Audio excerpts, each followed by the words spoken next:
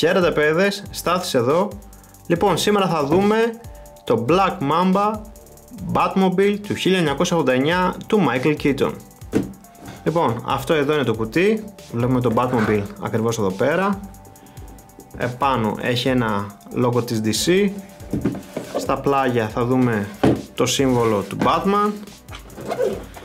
Στην κάτω πλευρά έχει κάτι κινέζικα και στην πίσω πλευρά θα δούμε κάποιες από τις ιδιότητες της φιγούρας.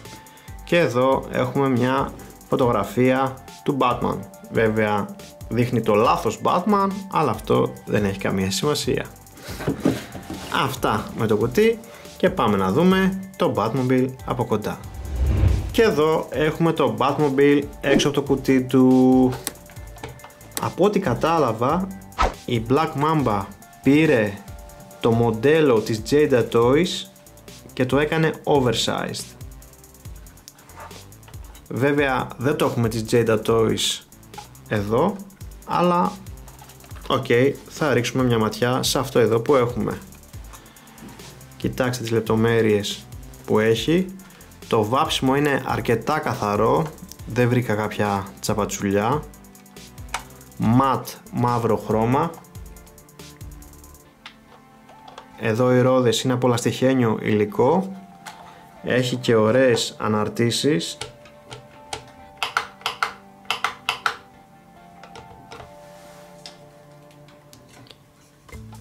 Δείτε και την πίσω πλευρά.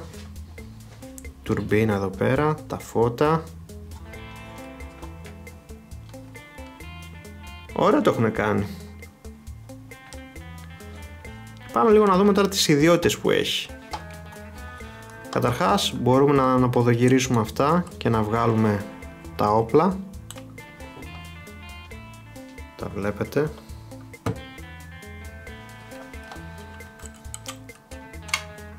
Επίσης μπορούμε να ανοίξουμε το πίσω μέρος. Φαίνεται η τουρμπίνα καλύτερα.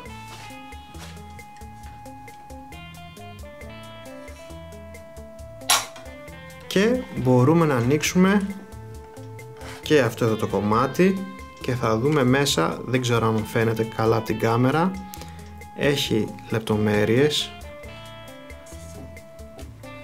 Ξέρω κατά πόσο θα φανούν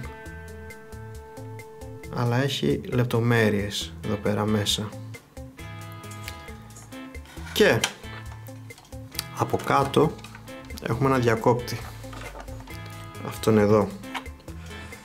Αν το βάλουμε στη μέση θα ανοίξουν τα φώτα. Καταρχάς να πούμε ότι οι μπαταρίες μπαίνουν εδώ και παίρνει τρεις μπαταρίες LA44 ή AG13. Ας ανοίξουμε λίγο το διακόπτη. Τα φώτα τώρα έχουν ανοίξει. Θα κλείσουμε τώρα τα δικά μας τα φώτα για να δείτε πως φαίνονται και τα πίσω τα φώτα.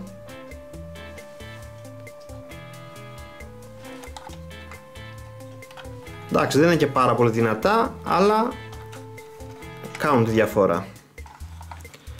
Και αν πάμε το διακόπτη τέρμα αριστερά έχει δύο ήχους. Το πατάμε προς τα κάτω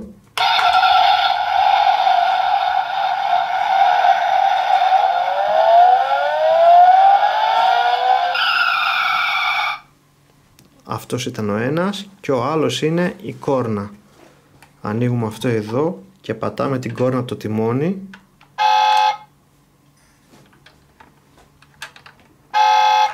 Και ακούμε την κόρνα. Το όχημα έχει πάρα πολύ diecast είναι αρκετά βαρύ. Η κλίμακα είναι 1 προς 18 είναι δηλαδή 30 εκατοστά δεν χωράνε 6 inches φιγούρες εδώ πέρα μέσα. Μια φιγούρα που θα χωρούσε εδώ πέρα θα έπρεπε να είναι γύρω στις 2 inches κάπου κατά εκεί. Το μόνο σίγουρο πάντως είναι ότι δεν χωράνε 6 inches φιγούρες εδώ πέρα μέσα. Και πάμε να δούμε και μια σύγκριση μεγέθους. Να φέρω μέσα το Deluxe Class Hasbro Gigawatt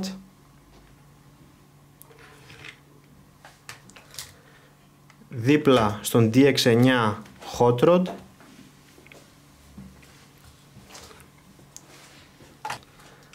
Δίπλα σε μία Lamborghini Aventador 1 προς 18 και αυτή.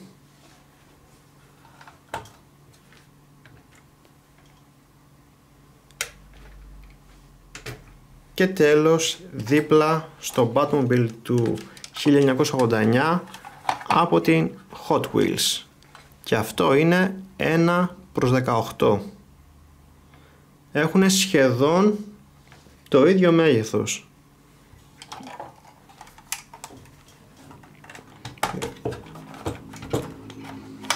Δείτε πως είναι και από εδώ.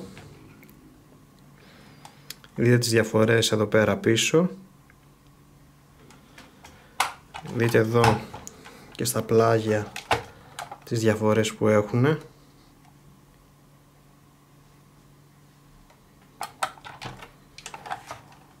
δείτε και την μπροστά πλευρά. Αυτό εδώ δεν βγαίνει προς τα έξω ενώ αυτό εδώ βγαίνει προς τα έξω. Και φυσικά έχει και κάποιες διαφορές μέσα στο πιλωτήριο αλλά δεν νομίζω να φανούν τώρα αυτά καλά στην κάμερα δεν ξέρω κατά πόσο φαίνονται αλλά έχουν και διαφορές μέσα.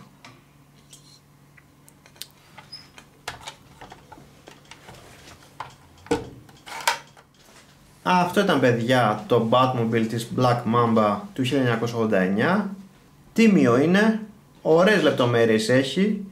Μ' άρεσαν και τα φώτα που ανοίγουν Είναι μια έξτρα ιδιότητα Έχει αρκετό diecast Λογικό αφού είναι 1 προς 18 κλίμακας αυτοκίνητο το συγκεκριμένο όχημα κόστησε γύρω στα 55 ευρώ με τα μεταφορικά μέσα Εάν ψάχνετε ένα τίμιο Batmobile του 1989, πάρτε το. Ούτως ή άλλως δεν είναι και πολύ ακριβό. Αυτό ήταν το review μου του Black Mamba Batmobile του 1989. Στηρίξτε το κανάλι αφήνοντας ένα σχόλιο και κάνοντας μια εγγραφή. Μην ξεχάσετε να με ακολουθήσετε στη σελίδα μου στο facebook γιατί ποστάρω σχεδόν καθημερινά νέα φιγούρων δράσης. Link θα υπάρχει στην περιγραφή του βίντεο.